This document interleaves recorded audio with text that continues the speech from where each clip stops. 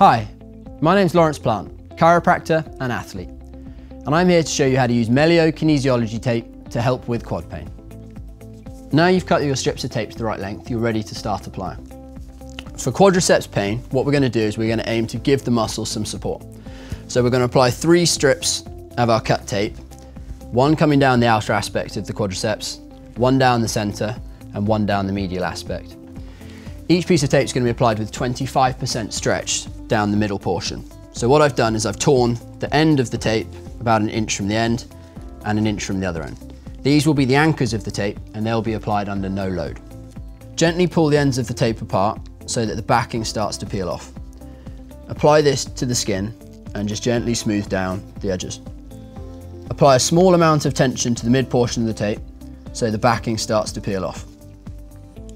Peel the backing completely off and then applying 25% stretch to the middle portion of the tape, use the flat of your finger just to smooth it down the outer aspect of the leg.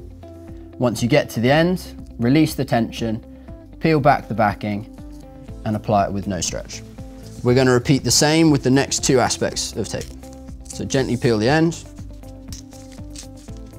The next one's going to come down the middle portion of the quadricep. So start just inside the outer piece, hold the anchor down, stretch the middle portion back, hold the anchor, apply 25% of the stretch, and smooth the tape down the middle of the leg. Once you get to the end, again release with no tension, and smooth the anchor down. If you've got the length of the tape just right, we should finish above the knee joint line.